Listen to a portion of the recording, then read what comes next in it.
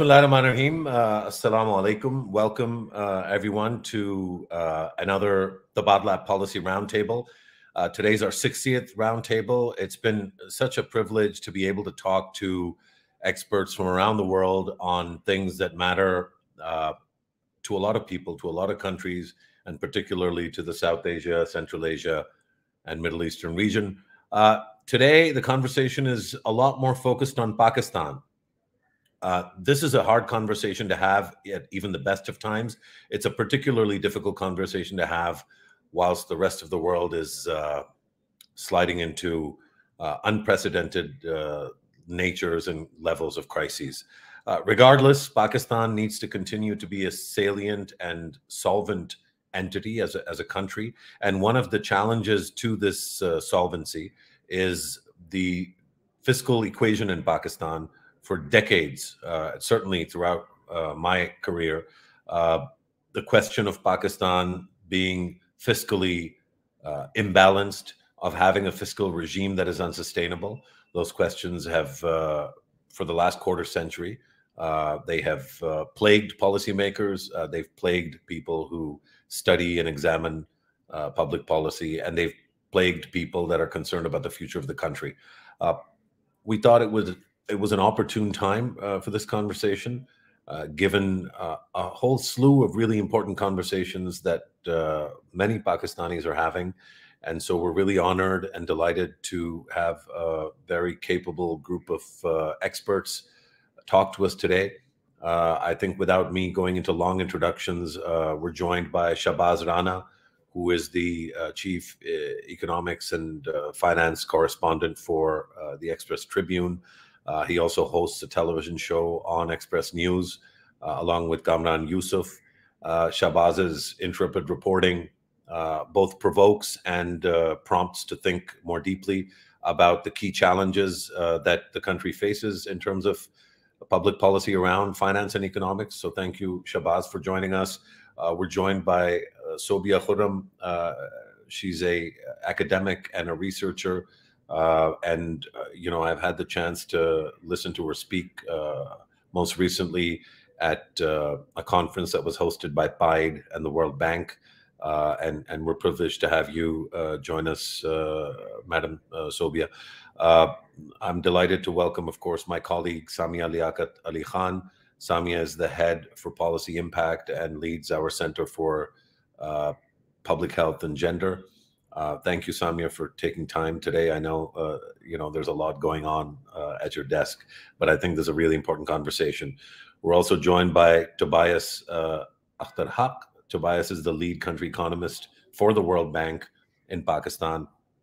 Um, not an easy job at the best of times, and a complex job for sure uh, in in recent uh, months, and particularly recent weeks or recent days.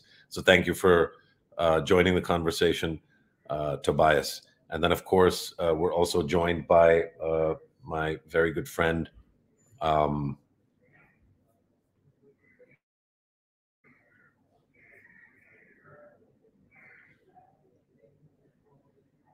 Sajid Amin. Uh, Dr. Sajid, Amin is a deputy exec executive director at uh, the Sustainable Development Policy Institute and uh, just last week hosted a really crucial and important conversation around these same issues. So I'm so happy that uh, Sajid has joined us. Uh, Sajid is also conducting, I think, some of the most exciting research on Pakistan's fiscal issues. And a lot of us have been waiting for several weeks to look at, uh, to, to, to, get a look uh, at that research. But I think we'll be benefiting from some of those insights, hopefully, during this conversation. So thank you, uh, Sajid, for, for doing this. Um, I wanted to start with you, Shahbaz, and very quickly just dive into this question. You've done some great reporting. Um, in in in recent, I mean, you've always done great reporting. Um, oftentimes, uh, reporting that I've disagreed with, or that's sort of you know rubbed me the wrong way as well. And I'm always so happy that you're able to sort of engage with people that have questions about that. I, really enjoyed uh, your story this weekend, uh, which I don't think really was about the World Bank. I think that story was about Pakistan's fiscal culture. And I think that story is a perfect setup for this conversation. And the story, I'll let you describe it in greater detail. but basically, the story is that this country doesn't tax enough people, uh, and and my view is doesn't tax the people that are most meriting of being taxed. Uh, and because it doesn't tax enough people, it doesn't have enough money to run its affairs. And because it doesn't have its enough money to run its affairs, it it runs into all kinds of challenges. Uh, those challenges are all across the spectrum of public life in Pakistan. But the root cause is not just an absence of enough taxes; it's that the wrong people are being taxed. Maybe walk us through some of the numbers that that you revealed through your story, because not everybody would have read your story, as you know, Shahbaz. People are interested in 20, 30 second clips. So give us multiple clips that we can uh, we can work with here in terms of this taxation problem. And you'll have to unmute uh, before you begin speaking, Shahbaz, because you're muted right now. Yeah, thank you, Mosharraf. Thank you very much, and good evening, everybody. Well, uh, being a journalist, I report on all of you, but this is quite uh, different from from my core responsibilities that I'm speaking as a speaker. And thank you, Mosharraf, for that. I don't have much information to add except sharing few numbers. I think, and those numbers are very critical because all of you are in, in some way affect the policy making and you, you people enjoy great influence on policy makers. Two, two to three questions that I'll, I'll leave for you people. But before that, uh, the story everyone knows it was about a World Bank recommendation um, about uh, lowering the income tax exemption threshold, meaning thereby uh, what, what, what is the income level that should be taxed, which at this point in time is over rupees 50,000 per month. Uh, World Bank has clarified that that it, it didn't mean that uh, it was an it was a recommendation that was based on an old data, so th- things are settled in that manner. Uh, but there are a few numbers, and those numbers are quite disturbing. The number is that in the previous fiscal year, uh, Pakistan's salaried class paid rupees 264 billion in taxes, which was equal to 12.1% of the total income tax paid by Pakistanis, number one. Number two, the second number is that Pakistan's richest textile exporters, they who exported about $28 billion worth of goods in the previous fiscal year, and they paid just 74 billion rupees in taxes. And same is the situation with, with Pakistan's another richest class, maybe not richest, but the richer ones, uh, the, the retailers, they paid hardly 15 billion rupees in taxes in the previous fiscal year. And the situation has not changed. Uh, during the My Weekend story, I also reported numbers based on the data of the first quarter, which means from July to September this fiscal year. The salaried class, again, paid rupees 71 billion in taxes. Just mind it that uh, our previous government increased the tax burden of the salaried class. Everyone who earns more than rupees 200,000 a month, their tax burden was increased. One, and secondly, the highest tax rate of 35%, which was earlier um, being charged from the people who had monthly income of rupees 1 million, that was half to rupees 500,000. And, and, and these numbers reflect a significant increase in tax contribution uh, by the by the poor um, salaried class. I would call it poor because compared to other people who don't pay their taxes, 33% um, increase in just three months. Now come to the uh, richest exporters who in first three months exported uh, $7 billion of goods equal to rupees 2 trillion and their contribution was 21 billion. And uh, which was just 3.6% of the total tax contribution income tax contribution. It was in the previous fiscal year 4% so the contribution of the salaried class is increasing and the richest people contribution is increasing. Now i'm throwing you some more numbers. And sorry for boring you you people with the numbers there is a report by a Reform and Revenue Mobilization Commission. It's an interim report. It has not been officially released. And the numbers are mind boggling.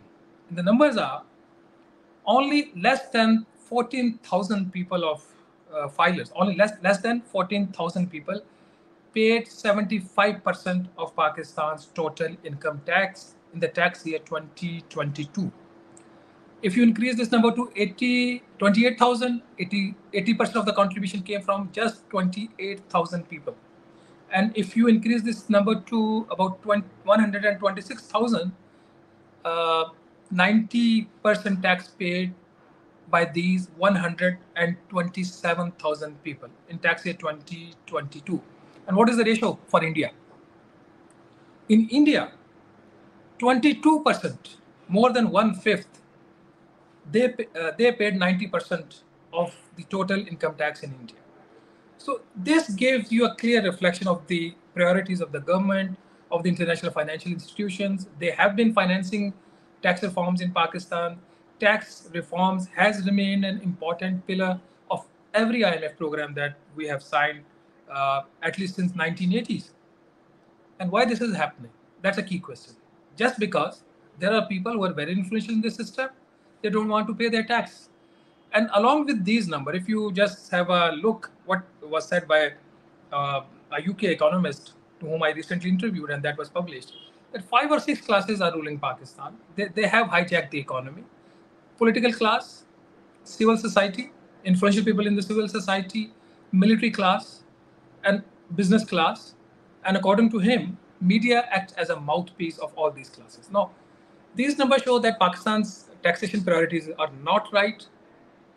We are not able to collect due taxes from the from the people who are earning maximum income uh, just because either they have a very strong voice in the system, they can manipulate the system, they can manipulate anything, or uh, which is more important, these people are not yet ready to surrender their so-called entitlements. The Chief Justice of this country, maybe, I'm not sure, but let's put this way, the judiciary, the armed forces, they are not paying their due taxes. So why everything is being paid by this by, by the salaried class? Why everything is paid by other people? I have a long list of the withholding taxes uh, Tobias can can shed more light because withholding taxes reforms is part of the of the reforms that the World Bank has been pushing under under a policy loan.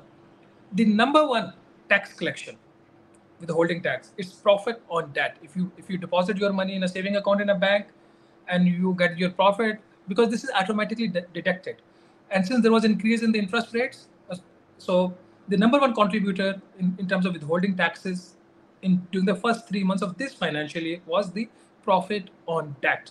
How much? It's about 113 billion rupees. The second this is more important. Shahbaz, I'm just thinking that this is a fantastic starting point, and, and I think you've set us off to the races with this introduction. I, want you to hold on to more of that data. I'll come back to you, but I just want to bring in Sobia and others into the conversation, and then and then let me come back to you if, if that's okay. Shahbaz? Sure. Yeah, yeah. Wonderful. So, Sobia, you you've heard uh, these uh, these statistics, and I think the way that Shahbaz has framed them is largely reflective, uh, for better or for worse, is largely reflective of the public discourse around some of these issues as well. Um, is there a degree of uh, sort of, I mean, does this narrative resonate with you, or are we missing uh, other elements of the conversation? Is it just that Pakistan's salaried class is being exploited? I mean, one thing Shahbaz didn't mention was the uh, banking uh, transactions and the way in which this country basically punishes you if you have a bank account, punishes you if you put money in the bank, punishes you if you withdraw money out of a bank. Now, I think it's maybe a little too easy to blame this on Tobias as well, right? Or on the World Bank or the IMF. But a lot of these decisions are the autonomous, sovereign decision making uh, Sawabdeed. You know, it's the power of the Pakistani political uh, and other uh, powerful forces that decide on these things. But but I wanted to get your take on what to what extent this is just a middle class and and and the exploitation of the poor, the exploitation of the middle class, or whether there's more uh, sort of factors at play here that that we might be missing. Sobia. Yeah. Um, thank you, Mosharraf, and thank you, Tabadlab, for having me. Um, I was just listening to all these figures. I, I don't think so um, that the salaried people are the only ones who are paying um, taxes. There's so many other factors. Um, I would start by, I mean, I read the World Bank report even before the session today. Um, they've recommended multiple reforms. They've not just suggested one thing. They've suggested multiple things. They've suggested, um, you know, close the corporate tax exemptions, um, increase the excise duties. They've recommended reduce tax expenditures in the energy sector. They've um, also, um, you know, hinted at improving, you know, taxation on agriculture, land, um, you know, the property. So, so, so these are multiple sets of recommendations, and obviously they've, you know, they've done, you know, their comprehensive analysis and come up with that. Um, and yes, they have recommended reforming the personal income tax. I think if you know, looking at the public sentiment at the moment, and you know, you know, all the political discourse which is happening around us, I think we have to assess and prioritize these reforms as our own context. Um, maybe we can, you know, have this inequality lens at the moment. Um, we can reform personal income tax, um, not going after the, you know, the people who already have minimum salaries. We don't have to, you know, further reduce the nominal tax rate. We don't have to further reduce it from 50,000 um, there is a huge gap between the salaried people, the taxes which are paid by them, and the taxes which are not paid by the non-salaried people. So we can reform that, right? And then, say for example, um, you know, th there was a lot of criticism that, you know, um, why can we only improve the the taxes on agriculture by going after the small farmers? No um, we can go after, you know, we can think about, uh, you know, thinking of ways where property tycoons, you know, pay their taxes, where the the the bigger agriculturalists who are also the politicians, they pay their share. Um, and, and and yes, they are, you know, these are not practical reforms, and that is why we've not done them for the last four decades. We go for small, practical options which are feasible and we keep ignoring these difficult reforms and that is why we are here. I think we call, also call them medium term to longer term reforms because we can't do them and we go for the shorter terms and the ones you know the ones who are already taxed we can tax them more. I think we've reached a point that you know where we have to go for these difficult decisions. Any government you know the current government the future government um, I was just thinking of an analogy. You know, the, our current system, the fiscal system, is leaking at multiple places. Now, some of those leakages are small, some of those leakages are large. Um, what we've been doing is that we've been, you know, just plugging those small holes. No, we can't do that anymore. We have to look for the bigger causes, the bigger symptoms, the bigger problems. We also have to differentiate between what is the symptom and what is the problem, and probably target the problem. I was just looking at some of the numbers. Our current tax to GDP ratio uh, in the World Bank report was 10.4%. If we reform the, you know, the the the taxes on land and property, there is a potential of around 2% of GDP. If we improve taxes on agriculture, it's around 1% of GDP. Now, if we reform personal income tax by fixing the brackets or further reducing, it's 0.1% of the GDP. So why do we have to go for 0.1% and not the 2% or the 1%? Because there's you know there's there's more scope uh, um, over there. And then I, I, can also talk about fixing the expenditures but i think my comment if you want me to go you know uh, keep going i can do that or maybe i can just stop for somebody else to you know uh, come up with a well, comment. well thank you so much uh, uh, Sobia i think one of the sort of challenges and i, I want to come back to you on this. I don't want you to respond to this right now but but when i come back to you it's interesting you say that you can talk also about the expenditure. Uh, I have a bias in this conversation. To me, it seems like uh, it's extremely convenient to start talking about expenditure cutting uh, by the elite of a country that don't pay their taxes, right?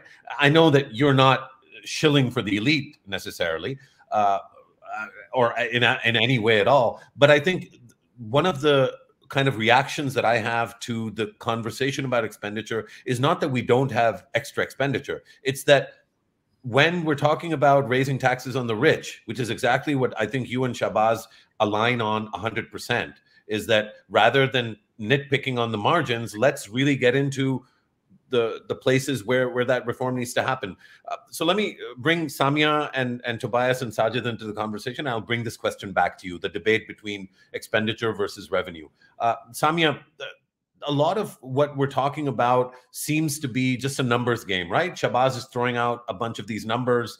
The numbers are quite shocking, so we need to work on the numbers. But there is a there's a foundational human element to these numbers. I, I wonder if Samia, you could just break down some of what that might mean, uh, especially in terms of you know the key lenses or filters that that you look at in terms of gender and women and children, in terms of public health and nutrition and population. How does this conversation end up affecting uh, the the, the, the contest or the challenge of human development in Pakistan. You'll just need to unmute before you speak, Samia. Thanks. Thanks, Mosharraf. Um, yeah, so very interesting question, right? When we look at um, all of the kind of fiscal reforms for sustainability that we need to be taking, uh, we also need to understand how does this impact on the households that are already being so badly affected. And some of the stuff that is out there in terms of um, the data that we have, we realize that in the last year, um, where before where earlier we used to talk about you know households facing catastrophic expenditures in terms of uh, sort of you know the breadwinner falling ill and and having to pay uh, extensive costs for healthcare um, and also not being able to earn or where we have sort of um, floods and other kinds of natural disasters which impact on households uh, ability to to earn or to to uh, sort of you know keep their assets intact uh, we now are facing a very different scenario where, for example, if you have food inflation rising from 13% to 40% in rural areas within the past 12 months, that becomes a catastrophic expenditure. So food is becoming unaffordable.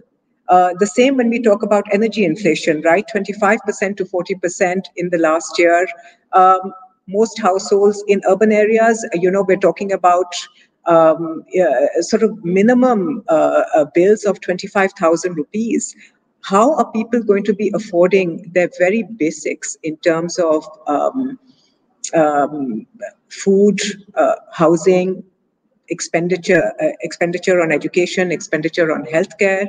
Uh, they can't afford it anymore. So we're facing a, a growing population that is being hugely impacted by the current fiscal scenario, uh, the more we squeeze in terms of uh, you know increasing taxation, especially on um, uh, the salary classes, uh, and in fact even on the poorest classes, because even though we can say that the poorest households don't pay tax, they do actually pay tax in terms of the number of um, uh, indirect taxes that they are paying every single day uh, on any kind of commodity that they have to buy on on uh, um, sort of gas, electricity, um, mobility, sort of getting to work and back. So um, I think we really need to understand how do poor house, households um, how can they react to this new scenario? What is it that the government needs to do? How many households are now falling below the poverty line? And if government is looking at expanding its tax base and really trying to uh, bring in that 2% increase, uh, you know, 2% of GDP or 1% of GDP from um, looking at agriculture, looking at land, real estate, uh, how does that how is that money then also going to be spent? Uh, and I think we really need to understand what then happens to, to public sector development spending, what happens in terms of social protection programs like, like this, where you've got currently 9 million households on the registry. Uh, is there a need to expand those households? Or do we need to move on to like 15 million households? Uh, Pakistan's uh, poverty line is, uh, I think it's around 6,600 rupees per person per month is your minimum sort of expenditure, uh, uh which, which aligns you to the poverty line. And if we take a household of six uh, members, uh, your average household size, you, you know, you can kind of um, calculate that 40,000 rupees is the minimum subsistence level at which people um, can just exist. Um, this data is sort of um, very different to what what you look at when you look at the global poverty line right so when we talk about dollars so what is the kind of uh, how many dollars a day uh, is considered the poverty line uh, globally it's three dollars 65 cents um, per person uh, per day uh, if you look at that in rupee terms uh, you know that's um, for a household of six on average in a month, that's coming close to two, 200,000 rupees. Uh, and that global poverty line and your, your Pakistan poverty line are not meshing. And so actually, we really need to understand who are now in that bracket of poverty that really needs support. Um, and what kind of programs um, and and these are not going to be short term programs right for the next 2 to 5 years what kind of programs does government really need to look at in terms of ensuring that we don't have a complete breakdown um, uh, across uh, the country in terms of people's ability to afford uh, even food um, yeah, so i'll I stop think, there mosharraf yeah. yeah. no no thank you samia i, I mean i think that's a really good uh, i think what you've done there is a, is a really interesting judo move because i think you flipped the conversation from being about where the money you know is being collected from who it's being collected from which i think is an important conversation and really you know a key to the conversation to the question of well whoever the money's being taken from here's a cohort of Pakistanis that need money being given to them. So there's also a fiscal equation there. Uh, you mentioned social protection, and I, I couldn't agree more. I, I, mean, I think we actually might disagree on some aspects of it because, as you know, I'm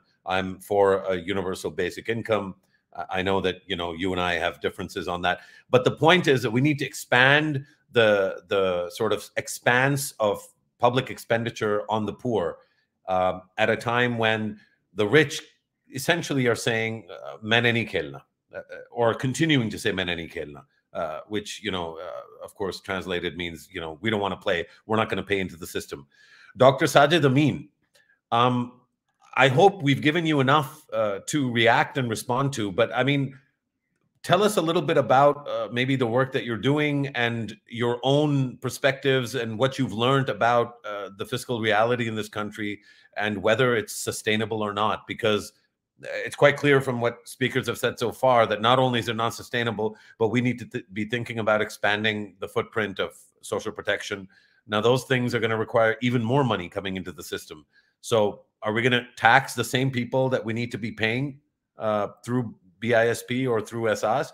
Or is there a different way of thinking about where the money is going to come from? Uh, Dr. Sajid Amin, you'll just unmute yourself before speaking. Thanks. Thank you, Mosharraf. Thank you for having me. I mean, the speakers have given so much uh, that it's really uh, the plate full. Uh, so, so much multi-dimensionality from the tax numbers uh, to the expenditure side and then the poverty and inequality angle. Uh, so let me uh, briefly start with the work that we are doing and that you, you have been referring to. I mean, there are two types of work that are really close to the today's discussion. Uh, the one is that, uh, and, and this goes to comments of Sobia actually, uh, that uh, the current systems that are in place in Pakistan, for example, let's say the tax system. Pakistan's tax system is designed for revenue extraction it's not designed for revenue mobilization or revenue generation. So whenever a system is designed for revenue extraction, because any country which is having so many multiple crises, 23rd IMF program, and the biggest number or the condition is the revenue maximization. So this has become an actually, unfortunately, an indicator of economic success that who raises how much the revenues and that's a false indicator but unfortunately whole the tax system is geared towards uh, this meeting this very myopic or very shallow target of maximizing the revenues without considering the costs without considering where it is from indirect taxes. So any system and this is this goes to your question also as the sustainability? And sustainability this system is unsustainable. I mean, you, you can make some reforms, but the fundamentals which are guiding these systems are itself so unsustainable uh, that they need a very fundamental shift. So this, this taxation system that we have cannot have, it cannot tax those who are in the tax net those who are not in the tax net because this is designed for withholding taxes to meet the revenue targets it doesn't have efficiency to track trace and implement a taxation system uh, which is for revenue generation or revenue mobilization. So that is one fundamental problem i think with the tax. And this is where we our work one of our strand of work is linked uh, that this and, and and you know the one important point is that your taxation system is as good as your economic governance system in general is. You cannot expect a good taxation system without a good economic governance model or the economic governance framework. We don't have any efficient economic governance framework so we will have this kind of taxation which was an ad hoc base very short-sighted targets and then urgency based tools like withholding taxes, indirect taxes. So they are built in the system actually. So this is where we we are bringing one of the discussion uh, is that what should be the guiding principle of economic policy, not only the tax policy, the broader tax policy, and that goes to again the questions of poverty and equality.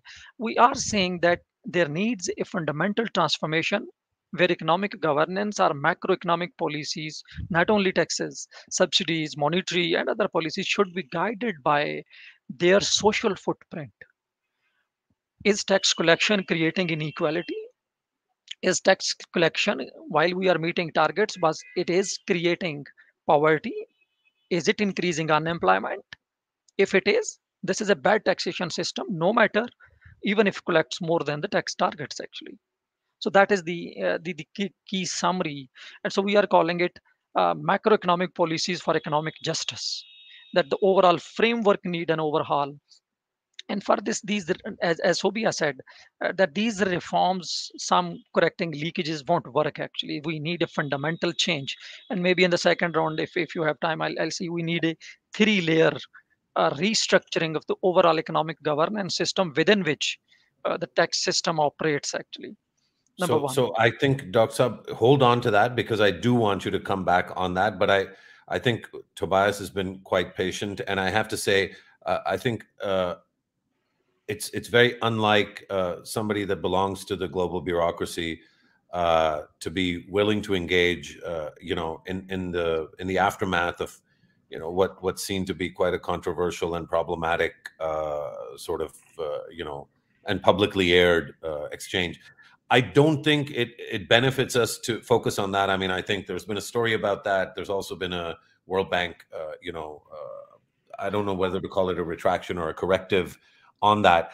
But I think Tobias, what I'm really interested in is, and the reason I came to you last is really because I wanted you to have a chance to hear all these viewpoints.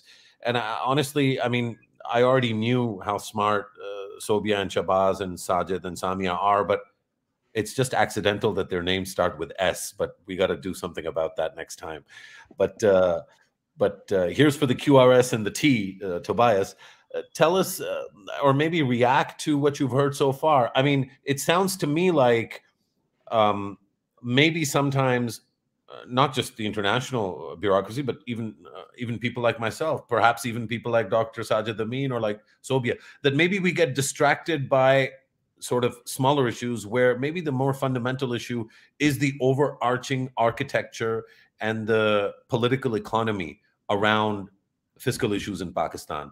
Uh, to the extent that you can, as openly as you can, what is your take? I mean, yeah, we've had this story with the with the fifty thousand rupees, and you know, there's been a retraction. But really, this, I think, in keeping with what Sobia said, it to me that seems like a very, very convenient distraction uh, again for the Pakistani elite to kind of continue talking about stuff that doesn't matter. Whereas uh, some of the things that do matter that has talked about, Sajid has talked about, Shahbaz has talked about, Sami has talked about, they keep getting kind of pushed to the to the side. Is, is that broadly your experience? You'll have to unmute before you start speaking, and you should start speaking soon.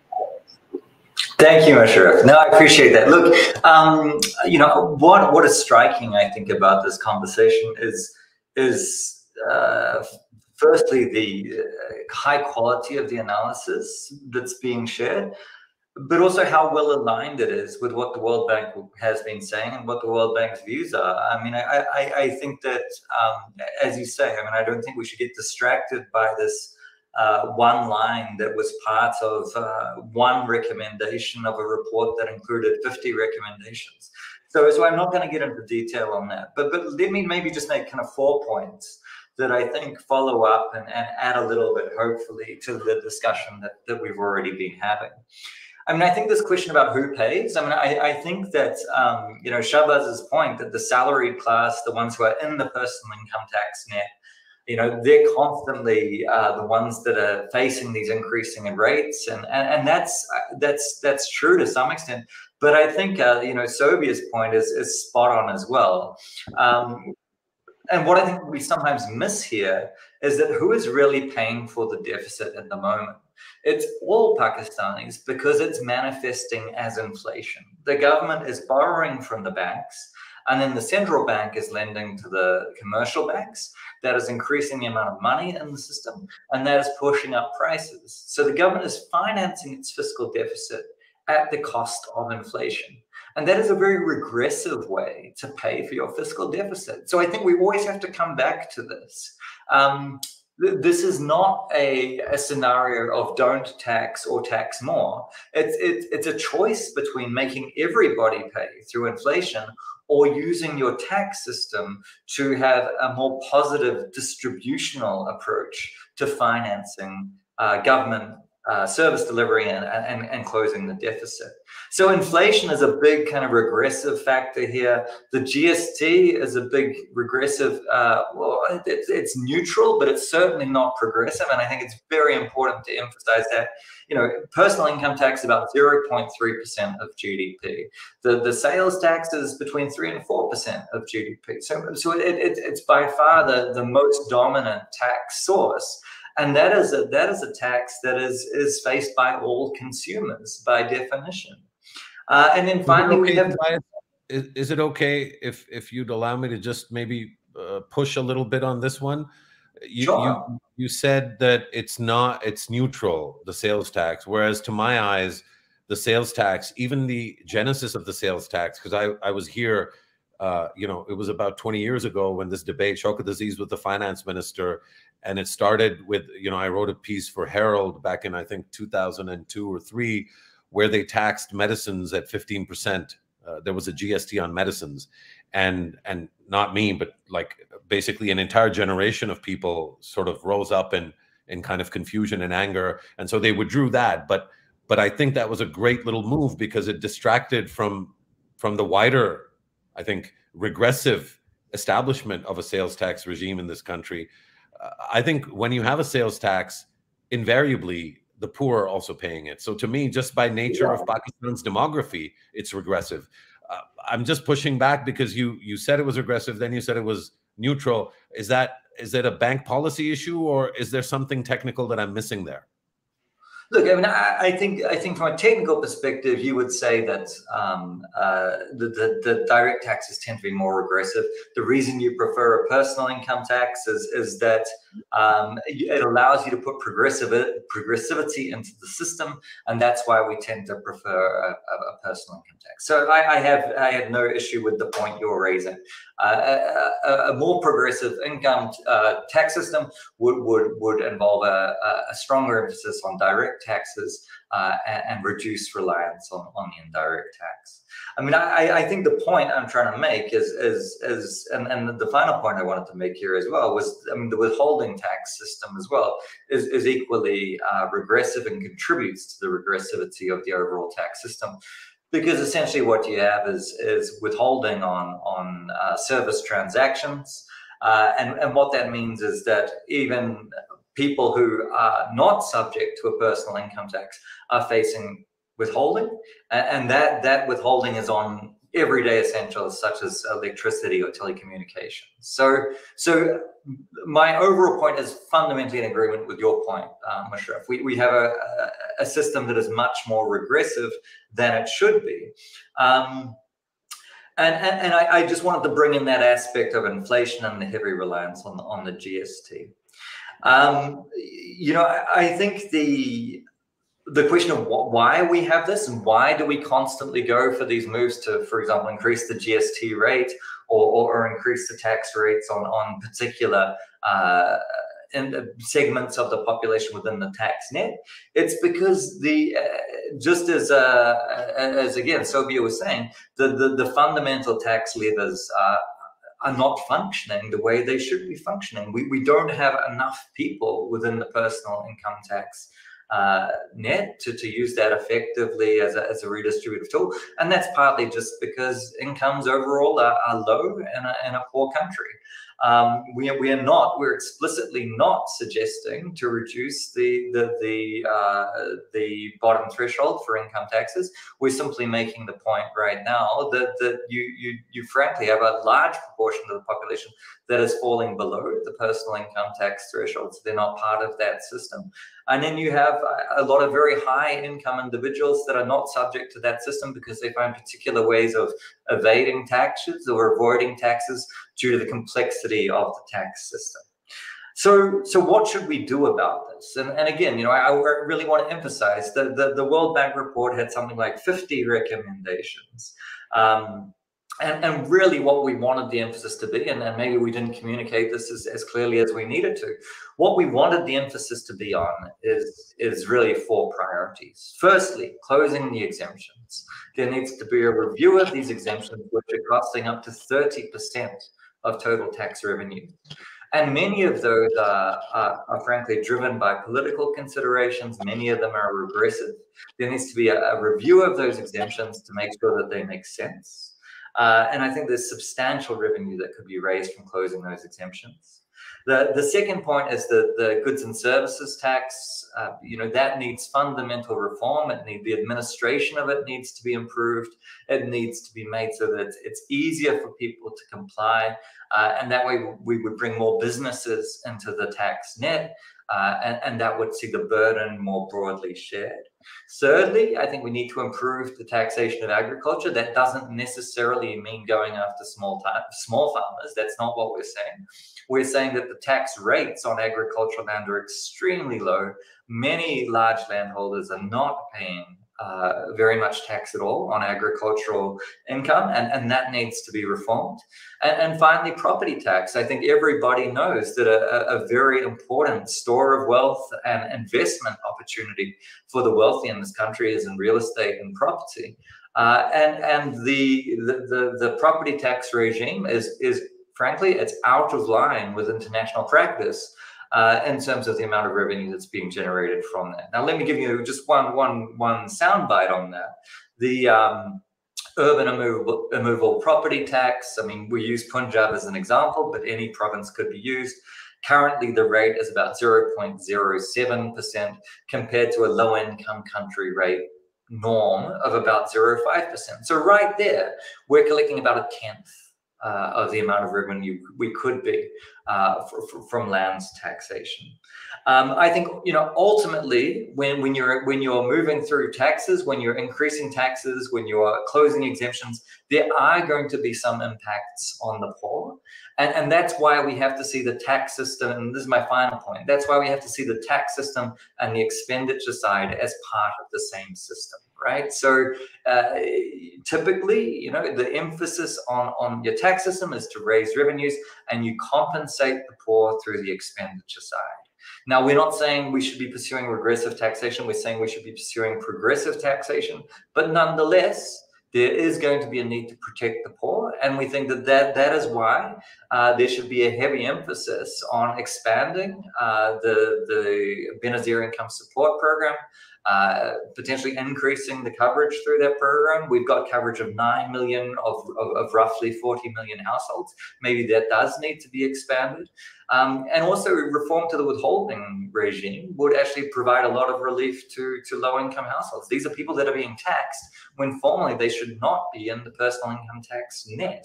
So, so I think if we look at these big picture reforms on the revenue side, we combine them with some of the compensatory measures you can make on the expenditure side, there's a lot of potential to close this fiscal deficit in a progressive way. But what it requires is some fundamental change. It requires using some different policy levers. And it means we have to move beyond just the, the easy fixes of going after the you know, the salaried classes or increasing the GST rates, which is typically what's been relied on in the past. I think that's a great uh, sort of uh, summary of, of what you just said. Shahbaz, if you heard Tobias, which I know you did carefully, uh, you'll find that he basically is echoing a lot of what, what you opened the conversation with in terms of where the focus needs to be.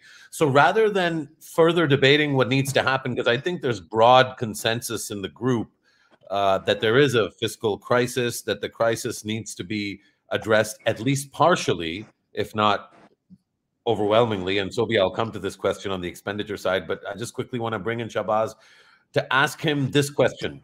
Shahbaz, you've been reporting on these things for the better part of a decade and a half. Uh, I mean, I, I, remember you as a Cub reporter, uh, and now you're you're one of the sort of elder statesmen in, in the field.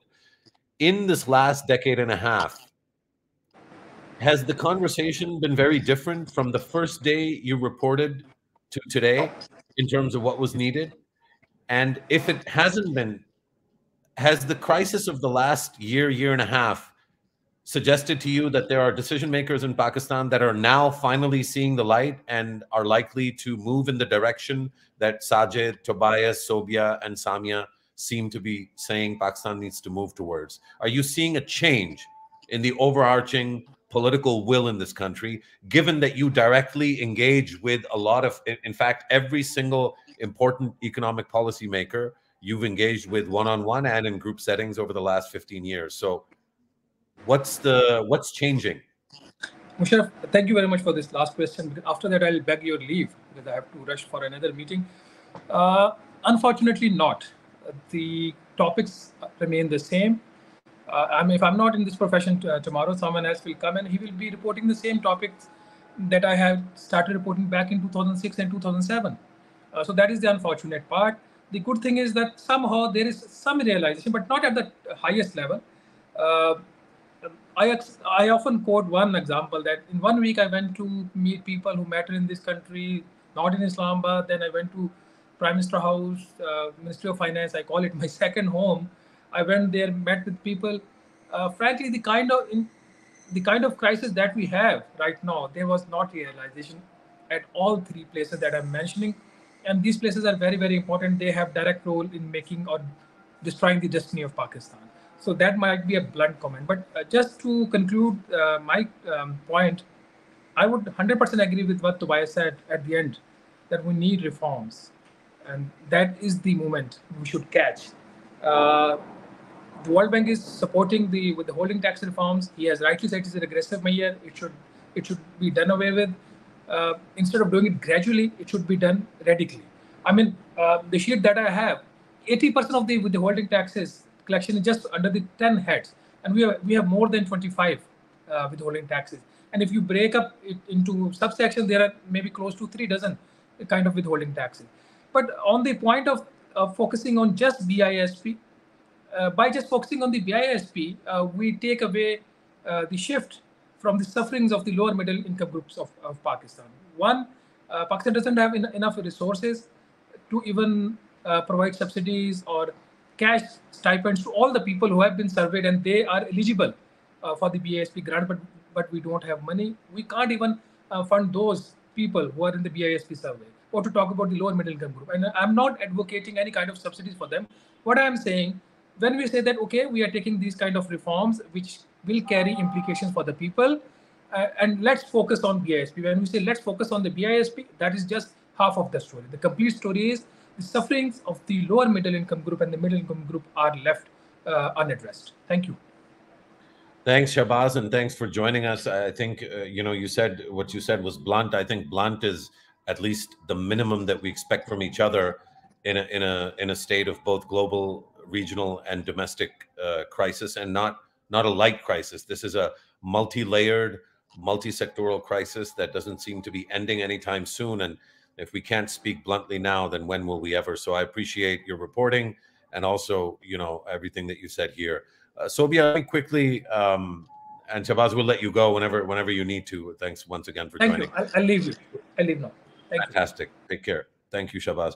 Sobia, this this this conversation uh, or this question about uh, the you know the expenditure side that can you have a full conversation about the expenditure side i've already shared my my hang up right uh, it seems to me as soon as we start talking about taxes when we have an honest conversation we end up talking about taxing the rich and as soon as we start talking about taxing the rich somebody just puts up their hand and says but uh, sir sir what about expenditure. What about cutting expenditure? Acha, usme there's two or three sort of, there's a big, um, th there are these big uh, kind of, uh, you might say, um, like uh, Swifties hote na, Taylor Swift ke. So, so isi tarah, there's these groups that really love different categories of ex expenditure. Uh, my favorite is the group that says we need to cut defense expenditure while the rest of the world, you know, sort of slides into all kinds of conflict. And we've seen what happened in the Middle East over the weekend. We've seen what happened in Russia, Ukraine. We watch what happened between Azerbaijan and Armenia. We're watching what's happening between Serbia and Kosovo. And we've seen what India has done vis a vis Pakistan since 2019 in particular. At that time, we want to cut defense expenditure. Now, this isn't an apologia for, for military expenditure, it's just the reality of what Pakistan is other folks want to cut expenditure in terms of we have too many public sector employees or we have too many pensioners. Again in a country with massive you know fiscal crises and with an inflationary bomb uh, i'm not sure that you know less teachers and less doctors is the answer to the pain and the suffering of the pakistani people. Um, and then of course the, the biggest and the easiest is let's cut psdp let's cut unnecessary road building and, and building building and bridge building uh, and highway building Uh, meanwhile, the only source of growth in, in a lot of economies ends up being core infrastructure. So, how do you grow if you don't develop infrastructure? this is my complaint. Maybe you have a counterfactual to this in terms of what we need to look at on expenditure. I mean, some of them are easy, right? State-owned enterprises, uh, inefficient expenditures of that nature. Uh, those are the easy ones. But am I missing something here in this equation? Is there more we can do on the expenditure side, Sobia? Yeah. See, when I talk about expenditures, I mean, say for example, you've collected 100 rupees in all the taxes, right? and then we are not careful and 70 you know 70 rupees out of that goes to your debt servicing and then you're left with 30% and i think the citizens are now getting more aware of what i'm going to say that if you're not careful if you're not frugal if you do not have austerity measures of where those 30 rupees are going it's not going to help. We're just saying let's you know you know raise more taxes and then let's not be careful where they are going. You're absolutely right. We don't have to you know i'm not i'm not going to say all right we should you know stop all the psdp you know funding but we can review those projects which are not doing very well. Um, pension reforms are needed. Hiring freezes might be one of the options but if you know but we don't have to pursue them at the moment if if they seem politically unfeasible at this point in time due to the inflation and other things going on. Um, you know uh, you've just mentioned state-owned enterprises. We can think about the ones which we want to retain the ones which we want to privatize. There are the you know certain ones which are not doing well at all. Um, you know what about austerity measures? When we you know hear news you know paper reports where 70 more you know you know um, cars have been bought uh, by a certain you know uh, department. It, it, it doesn't help the government right? Um, we have recently increased the travel allowances and everything. Why? I mean is that something which we can afford at the moment? So there are i mean there are a lot of ways in which we can cut spending. Some of them might be politically you know difficult at this point in time. Let's focus on others. And i would just you know um, you know focus on one of the earlier points i think our ta tax system is rigged by the elite you know it it, it is made to serve the tax the large taxpayers the it the politicians, the tax collectors, and it is not supporting the smaller taxpayers. And we need a paradigm shift. I think, as I just said, we need to improve the system that it starts serving the smaller taxpayer. And that is, you know, we have like um, Tobias was just telling us, we, we we have 80 recommendations. How why can't we have this inequality lens? All right, which are the you know certain sets of reforms which we can focus on at the moment that that they would not hurt the poor at this point in time because we don't want to do that but then there are other feasible options and the last point which i would like to make you know i keep saying that uh, if we keep focusing on small short term practical you know the practical practical feasible reforms at the moment we are missing out on you know um, focusing on the larger problems. And those larger problems don't remain the same. They get worse. So we have to i mean you just hinted onto that. I think it is the time now to actually make these difficult decisions. We do not have a lot of time left where we are not taking these you know you know difficult decisions i couldn't i couldn't agree more. I think this uh, this question of difficult decisions is one that in a sense i think you know i asked Shahbaz as well and what he said at the end is really uh, i mean I, i'm a little bit older than him and it's the same it's the same story. Uh, tobias knows uh, i was working on uh, world bank funded tax administration reform projects 20 years ago and it's literally the same project memoranda that sort of get passed down from one generation to like through three generations of civil servants and and World Bank uh, you know economists and staffers.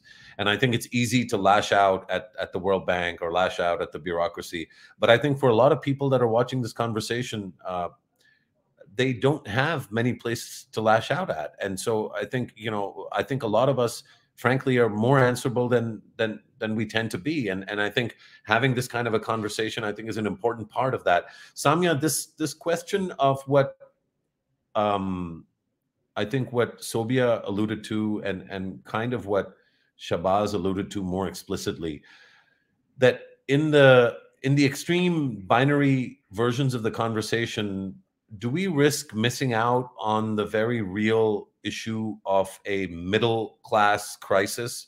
Uh, sure, we can address some of the gap by expanding the net of uh, Benazir Income Support Program or what used to be called Ehsaas.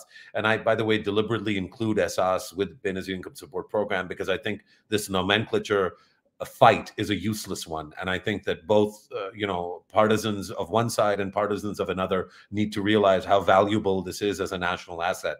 So I'll call it whatever anybody needs to call it, but we need to increase the size. But I think the point, uh, to the point that Shahbaz made, maybe you can expand on this, uh, maybe through some uh, some other data. I mean, you mentioned the poverty line. Uh, and if I re recall correctly, the minimum wage is way lower than even the poverty line uh, currently. So all these complexities, uh, Samia, are we risking missing out on uh, a growing resentment and dissatisfaction within the within the middle class, especially in urban areas in Pakistan?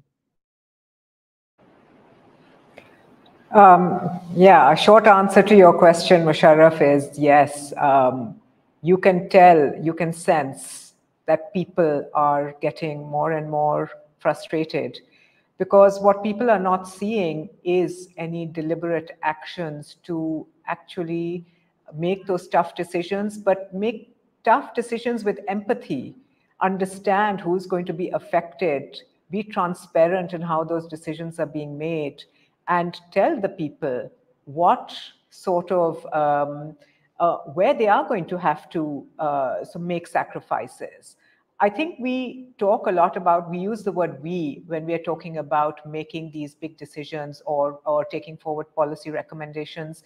Who is this we?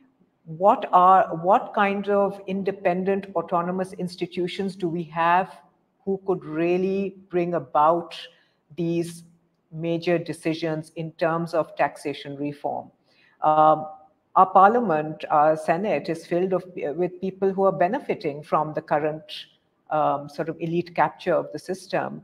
So who are we looking to uh, in order to actually provide reforms that address uh, some of the very grave concerns of our uh, uh lower and middle classes um, and provide some kind of uh, longer term solution where people can understand that, okay, for the next couple of years, we do need to tighten our belts, we do need to make sacrifices, we are going to be pressured, but then there is light at the end of the tunnel. And so far, I, I don't think, I mean, we've had discussions, uh, you know, within Tabadlab. Um, that hope is not there. Um, and, and that hope needs to be uh, instituted through um, a very transparent mechanism of, of developing the kind of reforms and uh, ensuring that they are uh, implemented. Since you mentioned, uh, you know, uh, our our team and and our people, just to give uh, you know viewers and listeners a taste of the kinds of you know, I guess policy decisions that even a small firm has to make. Um, a few months ago, we switched to four days a week with one day work from home, uh, not as a lifestyle issue, but purely as a as a cost uh, inflation uh, counter inflation measure. Uh, the cost of getting to work for a lot of colleagues uh, of ours uh, has become so prohibitive that it's eating up up to in some cases 40 50% of people's wages uh, which is an insane level of uh, you know penalty. And this penalty, I believe, is being paid by Pakistani middle classes. These are not lower uh, middle class. I mean, these are people that have very high quality educations. You know, that come from families that can uh, that that if, that were able to afford good universities for them, and those folks are paying 30 40 50% of their monthly wages in in very good jobs uh, to transportation costs. So one can only imagine the impact this is having at the layers below that. Uh, Tobias, I want to come to you and and uh, Sajid, uh, Dr. Sajid, I'll I'll end with you. I, would like you to kind of wrap this up and sum up, you know, the overarching fiscal sort of regime in this country. But Tobias, when you hear uh, of these sorts of challenges, uh, I mean, uh, the the thing that I neglected to mention is we're thinking of now seriously considering going to three days a week and making two days work from home because uh, every every few weeks there's a new inflationary sort of spike and it's getting more and more difficult to uh, be able to expect people to show up to work every day given the cost of getting to work. Is this something that uh, the world bank here in washington d.c is actively conscious of, or is this something that you know pops up on the radar once in a while? I'm asking not as a critical uh, point. I'm asking because I think so much of what you know comes from the bank in terms of advice has much more weight than what ordinary Pakistanis uh, would ask of their government because of the nature of elite capture, because of the nature of public policy. Uh, so I just wanted maybe for you to reflect on, you know, your uh, your take on how you're able to absorb or or uptake uh, information and signals and and and symbols from from the Pakistani sort of market. No, thanks, Mosharraf. Look, I mean, we had a conference uh, that, that, that, that you were participating in a couple of weeks ago here. And, and the way we framed that conference was that this is a moment of crisis for Pakistan. Uh, and that policies have been captured by by elites, and that it is leading us towards a, a, a full macroeconomic crisis. I, don't think the World Bank can be more clear on this. Uh, the poverty numbers, using the lower middle income uh, country poverty threshold, we have a five percentage point increase in poverty in the past year. Uh, we've we've been saying this out loud. Um, the model is not working. The model is not working. And, and I think that uh, what we can say and what I want to add to this conversation as well is that to some extent, we need a short term period of, I, I, I, have to say, austerity. I'm not sure what else to say. We have to, we have to bring down the fiscal deficit sharply now to get us out of these these real problems of, of macroeconomic stability, right? So we, we have to bring down the deficit sharply now so that the debt path can can can can move towards a, a, downward trajectory. And that's a very technical point to make. But but the point I'm making that is that through some short-term measures on the fiscal side, we can put the economy back on a sustainable footing. Once the economy is back on the sustainable footing, we need to move beyond this, this language of cutting expenditure and, and, and who pays more tax. And we need to be talking about growth. We need to be talking about increasing incomes. We need to be talking about improving productivity. That ultimately is going to be what puts money in people's pockets so that they can afford their imported consumption goods, so that they can afford their electricity, so that they can afford their fuel. Um, and so, uh, you know, the fiscal is super important because it is a short term emergency and there needs to be increased revenues and there needs to be I think, at least in the short term, some consolidation on expenditure. We need to do that in a progressive way. But that's that's not the future of the country. The future of the country comes then from moving towards higher rates of economic growth, so that people have money in their pockets, so the pie keeps growing.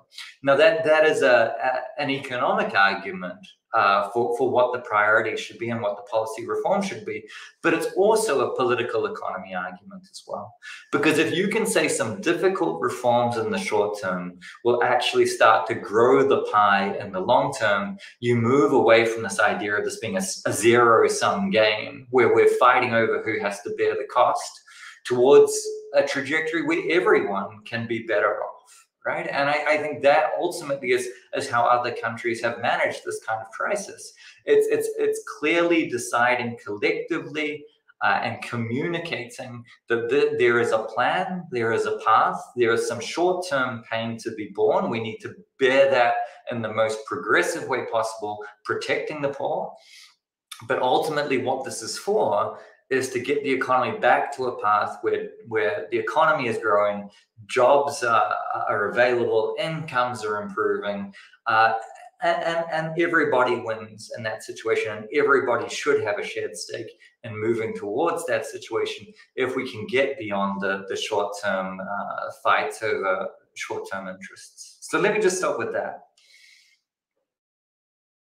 Important point you made it. I'm almost certain that Sajid uh, Amin would have would have brought up this this question of growth and the wider sort of fiscal paradigm and and but it's a it's a brilliantly made point. I guess uh, Sajid, uh, just to bring the conversation to you and to ask you to summarize it, but maybe let me add a little bit of a provocation uh, to whatever you're going to summarize.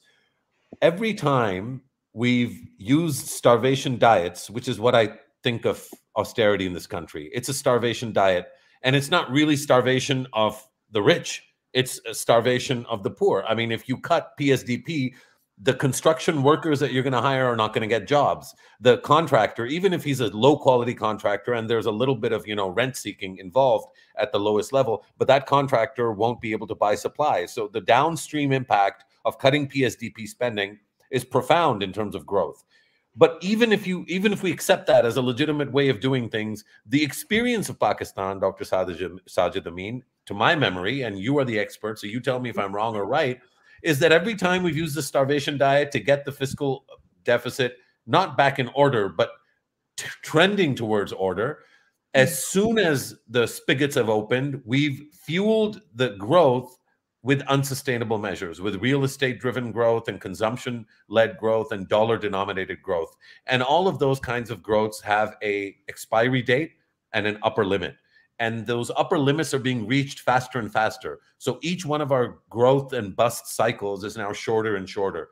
So yes, we need to grow, but if the way to growth and the kind of growth that to, you know that I've laid out is what's in the future, I'm not sure that that's necessarily a desirable way forward, um, especially if it includes not taxing the rich, because the starvation diet is for the poor and the middle class. It's not for the rich. Dr. Sajid Amin. Thank you, uh, Mosharraf. I mean, really, the discussion is so rich, uh, and and our ex experts are so much great insights that I really don't find myself not in a capacity to summarize it, sort of. Uh, but let me give a couple of reactions or a couple of my points. Uh, but just two quick points on your. Uh, I mean, we don't have any middle income now. I mean, the middle class actually. I mean, we we, we just give it uh, the word that we have a middle class.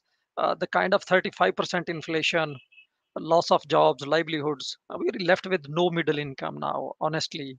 Uh, the middle income is just now on the poverty line or below the poverty line. We, we can find it. It doesn't have.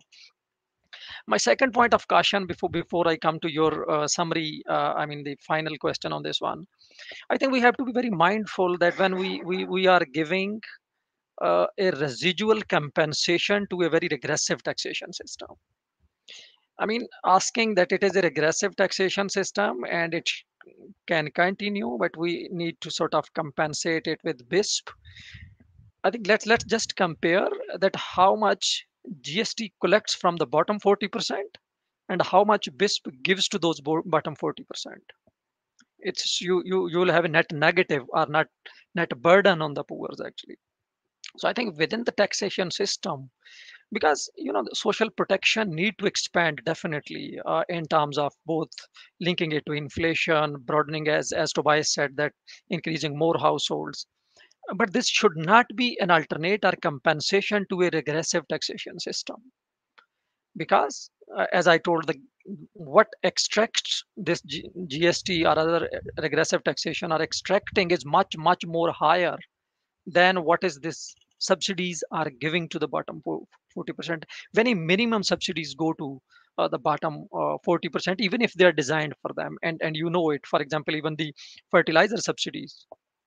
I'm a small farmer, I bought only two bags. A larger farmer buys 100 bags. Uh, the subsidy goes to the larger farmer again, not to me as a small farmer. So I think we need to re, re uh, this taxation system, and this is where I go to my final uh, point on on this one. Uh, but one point on your austerity this is very important point actually and i was taking this note actually. Austerity may give us a stabilization for some time. It doesn't lead to sustainability uh, and our shorter period that tobias was referring to has been the seven decades that we have been sort of experiencing this short-term austerity. Uh, it hasn't given us a solution. So in and, and and i think we need to work on three layers simultaneously and if i can focus it on the fiscal system or the taxation system more specifically the one is exactly the kind of recommendations which are coming. We need to tax the rich. We need to bring in uh, tax on the income irrespective it is coming from agriculture. I, I don't think why is this debate actually? Let's just tax incomes no matter where it is coming. If there is a certain limit on the income tax and then you you tax it beyond it it's coming from property it is coming from agriculture. So that that will solve your these question that who to tax actually. So um, i think we should uh, do this one. We need to uh, sort of avoid this tax evasion and some other things. But i think this is ad hoc solution within this broader system in which we are. For example sobia's point and samia's point on expenditure side. Our expenditure is not a revenue problem. Uh, let's be uh, i mean my, my point is this one it is our financial system, National Finance Commission problem, actually. The NFC that you have does not give any incentive to provinces to collect taxes. And they, they, they have no incentive to invest in infrastructure, tax infrastructure, because it has only 7% weightage. So that is the second layer where we need to work on very structural foundations what sobia and samia and tobias has been referring to. Where is this problem coming from? And the day when the finance minister is making a speech you are negative in the account on the book to finance any development expenditures psdp fully. The day speech is being made your debt defense and day-to-day expenditure take all your revenues because your national finance commission is designed in a way provinces are net taking from federal instead of contributing to that pool. And if your provinces are not helping you collect taxes you cannot adjust revenues by austerity or by other measures so that is the second layer. There are more structural issues that we need to work on. And third and final is uh, and this again goes to back to the comments from the, the uh, panelists and speakers coming. What should be the guiding principle for a taxation system? In we uh, let, let me give you an example. Uh, you know what is the tax to GDP ratio of Bangladesh? Um, maybe Tobias has the exact number. I don't have exact number, but most probably it is still a percentage point less than Pakistan. But if you go, go to the tax to GDP ratio, more or less similar, are slightly lower than Pakistan. But what is the difference is that the taxation system for development, for social and economic, tax, taxation for economic development and social development, and taxation for revenue extraction are fundamentally two different things. We are on the later actually. I think if our taxation system can move towards taxation for development, and that is where your last question, and I'll stop here then, the structure of growth, our taxation system is aligned with a consumption based economy and it supports that consumption based economy. It does not invest in, in incentivize me to invest. I mean, if, if you take one example of, you know, the documentation drive, every government does it, but it does to extract money from the people to meet the revenue targets and not to facilitate their businesses nobody is buying your tax uh, i mean the formality uh, drives because you you are putting it not for facilitating the businesses. You are just trying to extract those numbers. You are in the last quarter. You have to meet the tax targets and then you go.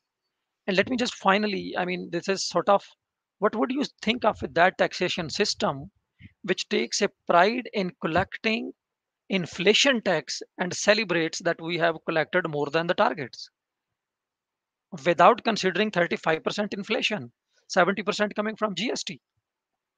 And there is a celebration. I think we need to work three things simultaneously, and World Bank and uh, like you, Mosharraf, have a big sort of very impactful voices. Uh, the first is that we, we need to have a very strong what is the purpose of taxation actually we, we need to let the taxation system know that the purpose of taxation system is to promote economic development, promote social development, not only to meet the targets by regressive uh, measures. Number two, I think these structural issues like National Finance Commission and others needs to be corrected. The new government should come and make a National Finance Commission because it is due. And that should have a new formula. And we are working on, on, on these similar issues, something. And simultaneously, the third layer uh, that that Tobias and other colleagues are also referring, and I do agree uh, that we cannot wait for a long-term solutions. We need to work on simultaneously, and these are not mutually exclusive. Actually, they are simultaneously they can be started. So I hope I was able to sort of uh, tackle your question, but not sure. It's so big question. Uh, it, it's very difficult to question. Thank you. Uh, thank you, Dr. Sajid Amin, uh, Sobia Khurram, Samia Liaquat, Tobias Haque, and of course Shahbaz Rana, who was with us earlier. Uh, no, not only did you answer my questions, uh, Dr. Amin, uh, but really this panel was, uh, I have to say, beyond my expectations, incredibly rich conversation. Um, all of you were, were a revelation. I, I must especially thank, I think, Tobias, you for kind of willing to be uh, part of the conversation, given the kind of flack that uh, I think uh, you know the bank has had to deal with. Uh, Dr. Sajid Amin, I know how busy you are, and and I think you you didn't disappoint at all. I, I think such a high quality set of uh, especially your summary was really beneficial including things that i disagree with but but uh, but that i think is the beauty of, of a discourse in which we can have these conversations. Sobia uh, such a pleasure to have you. I think this was your first uh, Tabadlab policy roundtable hopefully not your last. Uh, we, we'll come back to you. We really benefited from your participation. And samia of course uh, you know the lab colleagues get to take you for granted. So thank you once again for for uh, enriching the conversation today. Uh, of, of, obviously, my thanks in absentia to Shahbaz Rana and uh, and and to those that that watched and that continue to engage. Uh, you know, these are very difficult times uh, for the whole world, but especially for Pakistan and especially for those in Pakistan that are not uh, among the privileged few. Um, I'm grateful that we have a chance to keep talking about these issues with some of the best experts in the region, in the country, sometimes in the world. And uh, we'll try to keep bringing you these conversations to the best of our ability and keep trying to influence and affect better decision making here and, and everywhere else. Thanks again for joining us. We'll see you very soon.